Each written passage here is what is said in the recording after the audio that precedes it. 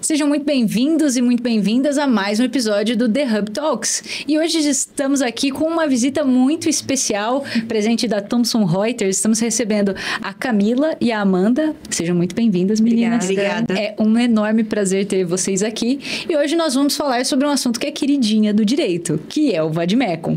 Bom, talvez ele tenha fãs e haters, né? A essa altura, quem já precisou carregar esse peso, cinco anos de faculdade, depois mais uns dez anos de experiência, sente aí literalmente o peso do conhecimento.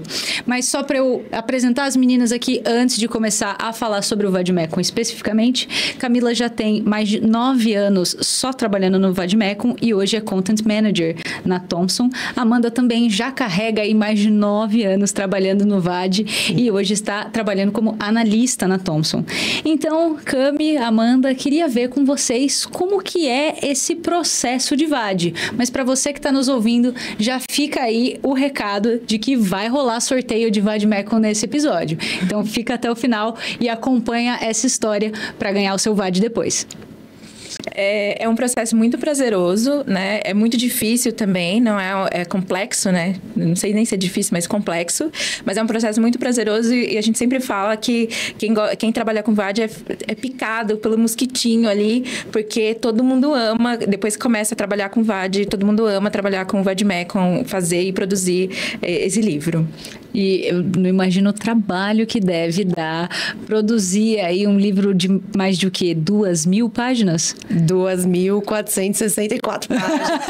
Atualmente. Atualmente. E contando. E contando. E contando. É um trabalho bem complexo, como a Ká falou, mas a gente trabalha com muitos controles, com muita pesquisa, com muita organização para poder construir esse livro tão grande, cheio de detalhes. Então a gente tem que prestar. Eu falo que é um trabalho bem minucioso. Começa da formiguinha e vira esse livro enorme. Eu acho que a primeira curiosidade que fica para qualquer pessoa que já estudou direito na vida é como que vocês escolhem o que, que vai aparecer no VAD, né? Porque eu acho que ele é assim, o pódio das leis. Então aqui nós temos só o supra-sumo creme de la creme legislativo, mas deve ser uma seleção muito árdua para se fazer, especialmente pensando aí o que, que, as pessoas vão precisar no dia a dia. A gente tem todos os é, concurseiros, os estudantes em fase de OAB, enfim, todo mundo que manuseia o VAD, as pessoas têm às vezes necessidade necessidades muito diversas. Como que funciona essa seleção? É um processo muito sofrido escolher o que vai e o que fica? Conta pra gente. É muito interessante essa pergunta, porque eu acho que as pessoas não imaginam como que é efetivamente você é, selecionar tudo que, assim, pensar em, nesse, no, no Vadmecum como um todo, né? É, essa seleção, ela não passa só pelo uh, você olhar para leis interessantes que devem constar ali dentro, mas também no público. Efetivamente, assim, assim, quem que vai ler o Vadmecum? Então, o que, que eu preciso selecionar, que é muito importante, que precisa estar, que um, uma pessoa que está prestando concurso vai, vai precisar, um estudante de direito vai precisar, um estudante de OAB, né, que vai prestar a prova da OAB vai precisar. Então, a gente faz todo um acompanhamento de legislação ao longo do ano, né? Todo dia a gente lê notícias, a gente é, olha para os projetos de lei, para as é, PECs também, né? Propostas de emendas constitucionais. Então a gente faz essa seleção, assim, vai olhando todo santo dia para tudo que está saindo, tudo que é interessante e vai já selecionando o que, que é importante, o que, que não pode deixar de constar. É um trabalho também que, assim, às vezes a gente não, não, não pensa nisso quando está manuseando o VAD, lendo o VAD, mas é um trabalho que envolve também a gente pensar na, em como que o leitor ali, né, quem vai ler, vai abrir esse VAD e não vai desfarar, é, desfazer o vademecum, né? Ele não vai, assim, abrir e de repente uma folha se destacar. Porque se eu colocar muita coisa dentro, provavelmente vai acontecer isso, né? Eu que sou viciada em Asmir de reconstrução de livros, sei bem os esfarelamentos que podem acontecer. É. E é muito legal saber que o VAD é pensado para que isso não aconteça. Na verdade, ele é pensado é, em geral, a gente pensa em tudo, né? Cada elemento gráfico, cada tudo que você acha dentro do Vadmecum é super pensado, né? A capa é pensada, a gente pensa na capa ao longo do ano inteiro.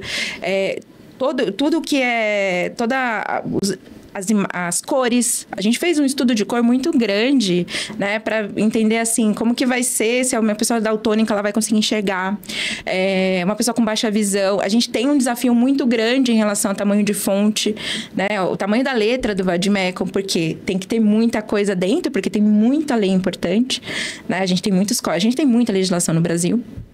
Ao mesmo tempo, eu preciso trazer uma fonte que seja agradável para o leitor. Então, é sempre uma briga eterna a gente falando com, com gráfica, pesquisando e tentando colocar cor, colocar fonte, colocar todos os elementos gráficos que precisam ter, né? E isso é, é, é o que faz, assim, também o VAD ser esse, essa, esse, esse grande instrumento de estudo, né? Eu acho que a gente pensa em tudo exatamente para quando é, o estudante for... O estudante ou qualquer pessoa for pegar e estudar, simplesmente ele conseguir ler, estudar, não se preocupar com todo com, com isso tudo. A gente pensa em tudo nisso para ele. É engraçado quando a gente começa a refletir um pouco sobre essa experiência do usuário, no caso, a experiência dos nossos leitores e leitoras. É, as pessoas muitas vezes não reparam naquilo que não está lá, né? Então, quando o atrito não existe, quando o incômodo não existe, quando tudo já foi pensado para ser perfeitamente confortável, você não percebe que você está tendo uma experiência que foi pensada nos seus mínimos detalhes para ser exatamente perfeita, né? Mas é isso que acontece. Por trás de uma experiência incrível tem aí um monte de gente lutando para deixar esse VAD super acessível e eu amei saber que vocês têm sim sim essa consciente preocupação com acessibilidade, que é uma coisa que quando a gente fala aqui no Vita, nossa residente de Legal Design Visual Law, que inclusive é parceira do VAD da Thompson, a gente pensa muito nisso também. E os temas que acabam aparecendo quando a gente pensa em documentos impressos são, de fato, como que eu vou fazer a cor funcionar para pessoas com daltonismo, fontes que sejam adequadas para pessoas com baixa visão e assim, eu inimagino o trabalho de chegar no número de fonte e no estilo de fonte, no tipo de fonte que seja adequado para todas as pessoas e caiba num documento desse tamanho, né, gente? Olha o trabalho que vocês tiveram. E assim, é, de todos esses materiais, a gente falou aí um pouco da confecção, mas eu sei que dentro dele tem uma estrutura interna bastante robusta que ajuda a gente a navegar aí. Eu não sei se a gente está já em milhares ou se só, entre muitas aspas, nas centenas de legislações aparecendo no VAD. Como que funciona essa construção? Como que funciona nesse raciocínio, até para a gente talvez começar a manusear direito, porque eu não sei nem se eu estou usando o VAD do jeito certo. Eu acho que é importante a gente falar que nós, em parceria com vocês também, a gente criou um guia. Então, a nossa primeira página do VAD, ela já é um guia de uso, explicando justamente todas as questões gráficas, o que é o quê, o, aonde você vai encontrar, o que é uma citação, o que é um vídeo. Então, isso facilita muito, porque às vezes o estudante lá do primeiro semestre, ele chega super empolgado com o VAD dele, mas ele abre e aquilo é, ah, meu Deus, o que, que eu faço com isso? Assim, só vê tanto. várias firulinhas saindo Ou só vai na lei que o professor falou, que falou e, não, e, ele não manuseia tanto, e às vezes vai fazer uma prova e fica perdido mesmo. Né? Isso, né? e, e acho que esses detalhes que a gente acaba colocando são facilitadores. A gente costuma chamar de facilitadores. Então a uhum. gente tem notas, temos índices, tem a parte que se ele olhar pela cor e descer o dedinho ali, ele vai manusear, ele vai abrir, ele vai cair naquela página? Vai, porque isso foi pensado justamente. Nossa, mas os códigos são de uma cor e a legislação é de outra? Sim, para facilitar você olhar o seu livro e conseguir abrir na página. A gente tem duas tiras de marcação, os dois fitilhos, talvez porque você esteja lá na Constituição, mas também está usando aquela lei. Então você fica com essas duas coisas ali, fácil acesso. Então são os detalhes, como você falou, que ninguém pensa, porque já está ali, mas que com certeza são muito bem pensados ali para os nossos clientes. E uma coisa que Camila falou, que agora eu vejo que já está estruturado no seu pensamento, Amanda, é essa questão da complexidade, né? Uma das coisas que a gente enfrenta quando está trabalhando com esse volume muito grande de informações e informações que você não pode é, hierarquizar. Não dá para falar que dentre todas essas opções essa é muito mais importante que aquela outra. Assim, vocês já fizeram aí o trabalho de filtrar algumas coisas que deveriam ou não deveriam aparecer aqui dentro. E aí de repente eu tenho uma baita gama de informações que aparecem aqui e é um volume complexo de se lidar. E não dá para vocês simplificarem todas as leis, né? Imagina, se a gente não. pudesse fazer um VAD de bolso, VAD resumido, só assim, é. ah, isso aqui diz isso, numa linguagem bem informal. Então, às vezes, a gente chega de fato nesse limite da simplificação e a gente precisa lidar com a complexidade. E eu aprendi com, com o Urman, que é o fundador do TED Talks, que a gente precisa tornar o complexo claro. E isso para mim fica muito evidente no VAD da Thomson, porque o complexo ele tá de fato apresentado ali de uma forma clara, com uma navegabilidade interessante, fácil de manusear, e aí vocês já intro, inclusive trouxeram esse elemento de design da informação que é o próprio guia, que eu acho fantástico. Sim. E assim, o guia já é um baita diferencial do VAD de vocês, mas eu sei que tem aí outros elementos bastante interessantes no VAD. Então conta pra gente aí um pouquinho mais do que, que tem de especial no VAD da Thompson. Acho que isso é muito importante, porque o, o VADMECON, ele é o VADMECON de sempre, né? Com todas as leis, que realmente o, o estudante, ele vai precisar daquilo, vai, vai ser cobrado em provas, é, a letra da lei, mas ele tem todo esse diferencial de estudo, né? Porque a gente sabe também é, que a leitura é essencial da legislação, a gente sabe disso, mas tem todo um diferencial aí que é com o Vigioló, que a gente tem em parceria aí com Vita, né? Que é que é fantástico. Foi um dos primeiros é, materiais que a gente disponibilizou no VADMECON, assim, diferentes, inovativos, e a gente gosta muito.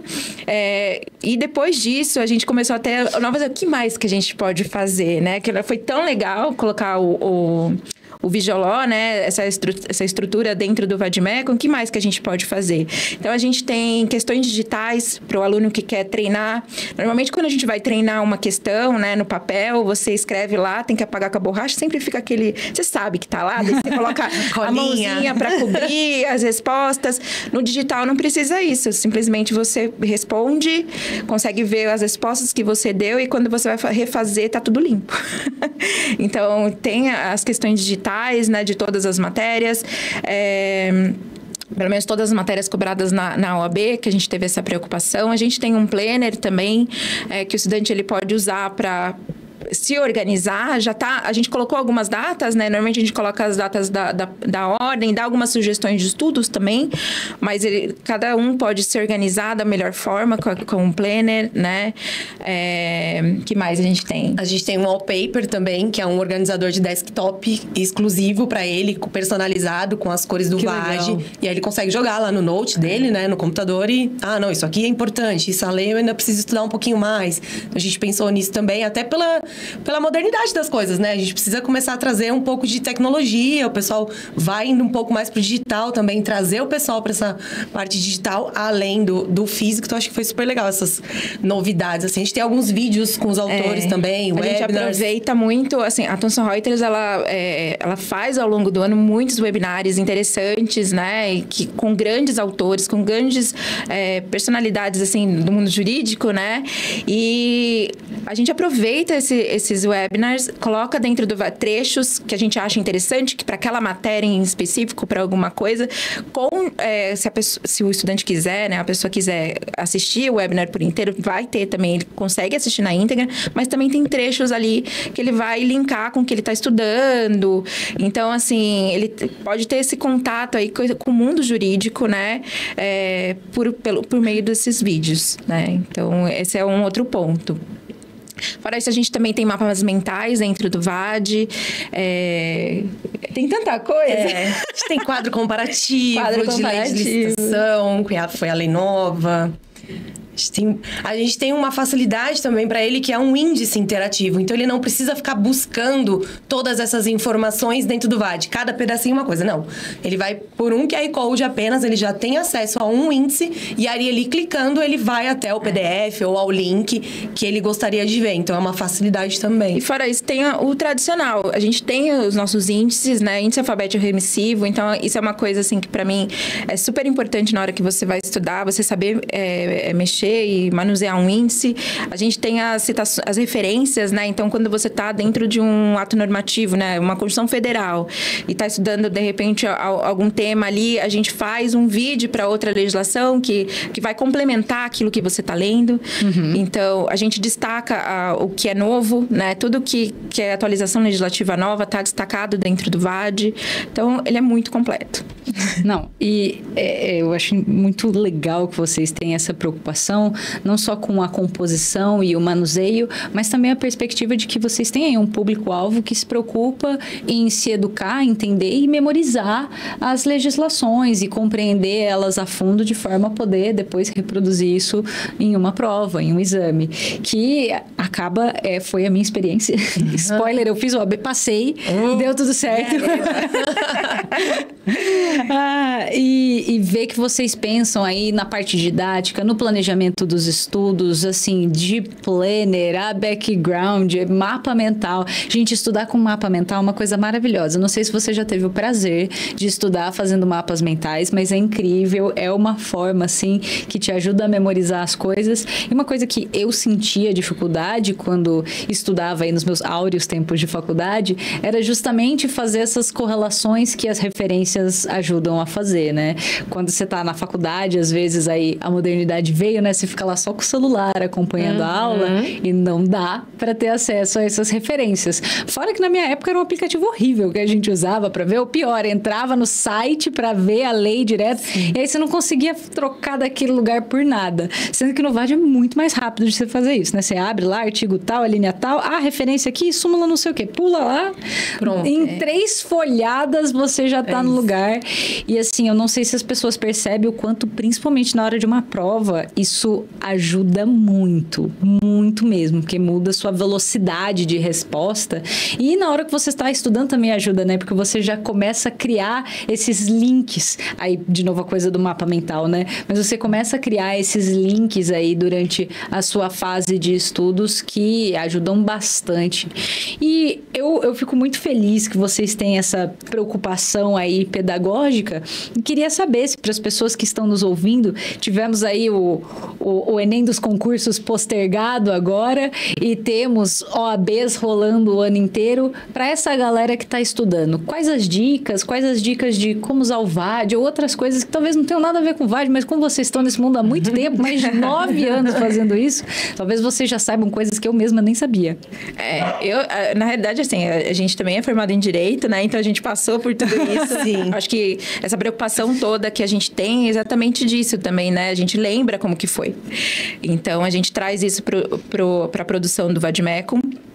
É, o estudo, ele tem que ser guiado sempre pelo estudo da, legislação, leitura de lei, é essencial, a gente não foge disso, é, com, a, associado com doutrina e jurisprudência, né? Os julgados também são importantes.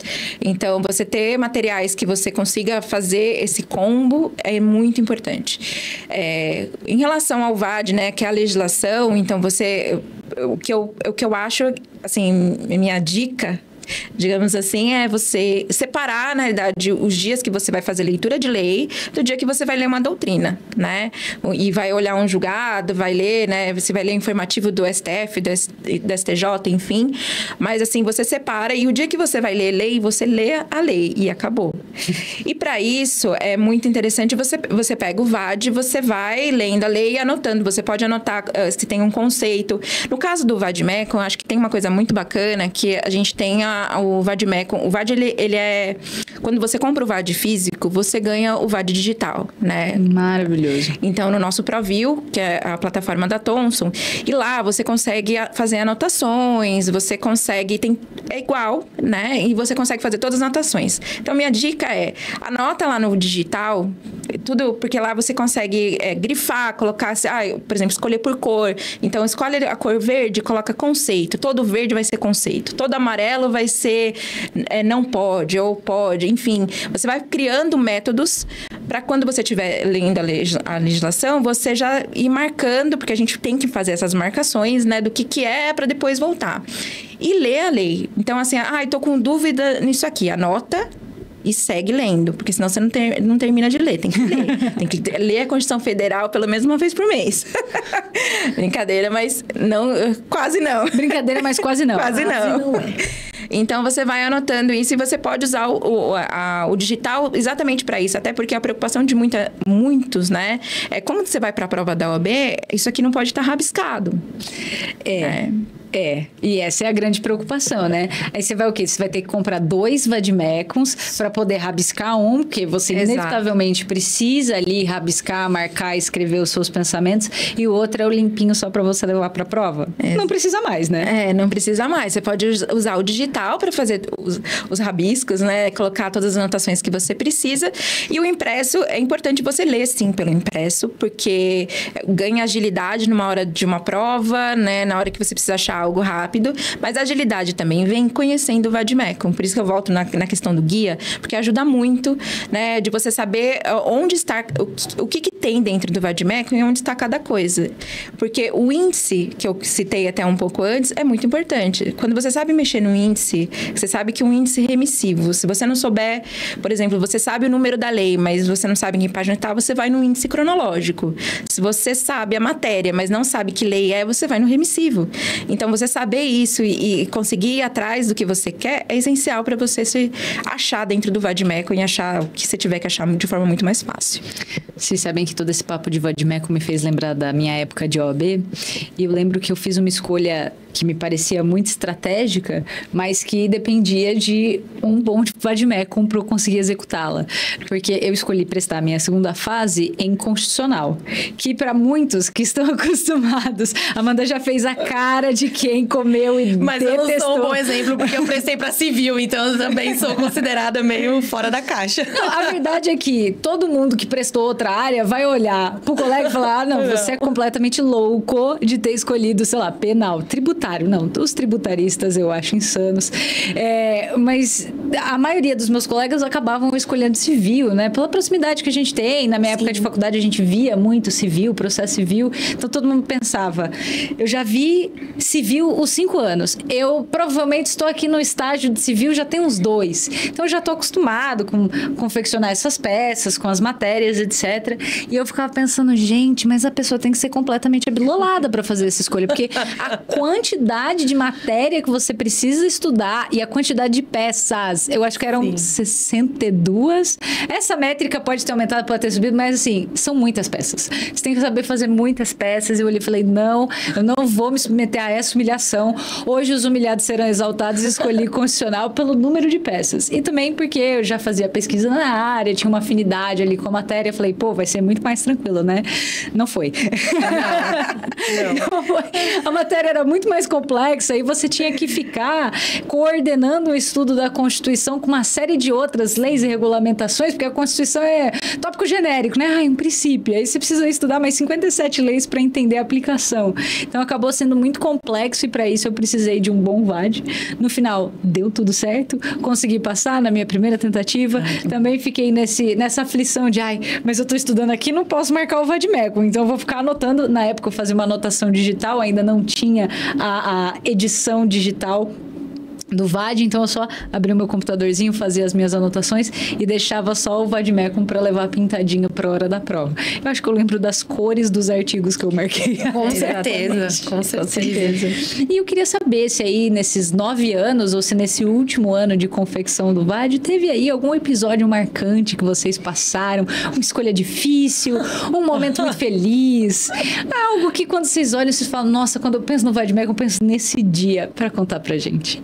you a de Meca é uma montanha russa. É, são vários dias, não tem um só pra gente lembrar. É, na verdade, assim, eu acho que momentos felizes sempre quando o VAD chega, né? Que vem fresquinho, lindo, assim, ó, chegou. Encapadinho. A gente fica muito feliz, assim, e é, é muito unânime, assim, é uma, vira uma festa dentro do editorial, porque eu falo sempre, o Vadmeco, ele não é feito aqui por duas pessoas, ele é feito claro. por um, um grande, é, é, um grande time, né? E que faz esse Vadmeco, um grande time, inclusive inclusive com parceiros, né? Enfim, é muita gente concentrada pensando em como fazer é, o, melhor, o, melhor livro, né? O melhor Vadmecum e trazer tudo que precisa trazer. Enfim, a gente é muito preocupado com qualidade, assim, muito mesmo, né? A gente faz esse acompanhamento, a gente quer tudo muito atualizado. Então, às vezes demora um pouco para chegar no mercado porque a gente está esperando aqu aquela lei importante, alguma coisa assim. Então, é muito é, pensado. Então, quando chega dentro do editorial Vadmecum, é uma festa. Ai, que delícia. a gente é fica muito, muito feliz, realmente, porque saiu tudo, assim, tudo aquilo que a gente ficou um ano trabalhando, chegou o nosso bebê, que a gente fala que é nosso bebê, ele chega lá no editorial e a gente sempre comemora, né? Então. Eu acho que é isso, acho que essa é a alegria, assim, a gente que, que efetivamente está na produção, você vê que você começa, tem a parte de atualizar a lei, pensar, colocar quando ele chega chega. É muito bom, assim, a sensação de dever cumprido. Eu acho que são, são dois momentos que eu me sinto assim, que é o dia da liberação, que tipo, uh, foi, tá entregue, agora vamos lá para a próxima etapa, mas dá uma sensação de alívio. Já foi de 2024, agora vamos pegar o de 2025. É isso, não piscou, a gente começa de 2025 e realmente quando ele chega é, é incrível, assim, é, é festa mesmo, é, passa todo mundo, gente, chegou o VAT, chegou o VAT. Já, viu o VAT? Já, já viu o VAT? Vai circulando com ele igual um é, bebê recém-nascido. É, fica nas mesas, o pessoal passa e pega, então é muito legal. E, e aí, quando vem os elogios, então, nossa, a capa ficou ótima, gente, vocês viram a letra? Poxa, ficou legal, gente, parabéns. Meu, isso é, é super. Ai, dá aquela calorzinho no coração, assim, porque dá trabalho trabalho. Não, muito reconfortante, né? Ver a sensação de dever cumprido, Isso. trabalho bem feito. E é legal que o trabalho de vocês, ele literalmente se materializa, né? Muitos dos nossos trabalhos jurídicos hoje em dia, eles ficam no digital, a gente não vê, a gente não sente, Verdade. às vezes sai às vezes, uma decisão favorável e você não consegue sentir essa sensação uhum. de, nossa, tá feito, né? Serviço legal. cumprido, trabalho completo. E vocês recebem aí, literalmente, um presentinho. O, o VAD é engraçado, que ele tem tamanho, porte, peso de um recém-nascido mesmo. É, Dá para circular com ele pelo escritório, embalando as leis no, no, sábado à noite. É, meninas, muito obrigada por todas essas curiosidades. Eu acho que, pessoalmente, eu ainda tenho muitas questões aí, curiosidades que eu gostaria de saber sobre o VAD, mas eu fico muito feliz de, de ter aí empresas que se preocupam com o nosso conhecimento, se preocupam com a integridade do ensino, né? Isso é, isso é muito importante. A gente pensa aí nessa hora de exames, nessa hora de prova, mas a verdade é que essa é a última etapa, né? Você anda, você que faz direito, você que está estudando, você vai andar com esse com às vezes 5, 6, 7, 10 anos embaixo do braço, talvez só trocando edições, mas sentindo o mesmo peso da responsabilidade desse saber e ver que vocês levam essa responsabilidade tão a sério quanto as pessoas que estudam é muito legal. É muito bom ver que tem pessoas com essa preocupação preocupação no mercado, preocupado não só em como o VAD vai sair, mas em como que ele vai ficar para as pessoas que leem ele, que passam esses 5, 10 anos estudando Isso. e que precisam reter esse conhecimento e a sua preocupação em pensar em parcerias e Vita vem, faz Visual Law e vamos facilitar para a pessoa entender, mas ela também precisa ler a letra da lei, então vamos aqui fazer o guia para ela conseguir seguir. Cara, isso é muito legal e é muito, muito bom ver que a Thompson é preocupada com isso. Queria dizer que é um enorme prazer receber vocês aqui. Já fica o convite para voltar, para a gente falar mais de VAD. Se vocês quiserem dar um recadinho final para os nossos ouvintes, essa é a sua chance. Bom, eu queria agradecer, né? Agradecer vocês pela, não só pela parceria, mas por, por esse espaço aqui para a gente poder falar de algo que a gente gosta muito, né? É, que é o Vadmecum. A gente realmente se preocupa muito com a, a confecção do Vadmecum, com o que o nosso cliente vai achar no final. Então, você que comprou, vai lá, comenta pra gente, que a gente olha todos os comentários, né? A gente analisa o ano inteiro tudo que vocês falam pra gente na, nas nossas redes, no nosso site também. E a gente sempre quer melhorar o Vadmecum, então a gente está a todo ouvidos. Bom, para você que ficou aqui até o final, nosso muitíssimo obrigada. É sempre um prazer ter vocês aqui com a gente. E eu não menti no começo do episódio, teremos sim o sorteio deste belíssimo exemplar de Vadmecum que está aqui na mesa conosco. Ele será sorteado através do formulário que está aqui na descrição do vídeo. Então você que está precisando de um Vadmecum novinho, fresquinho, saído de fábrica, é só se inscrever aí no nosso formulário que em uma semana a gente publica o resultado do sorteio para saber quem que é a pessoa que vai sair com o melhor Vadmecum embaixo do braço.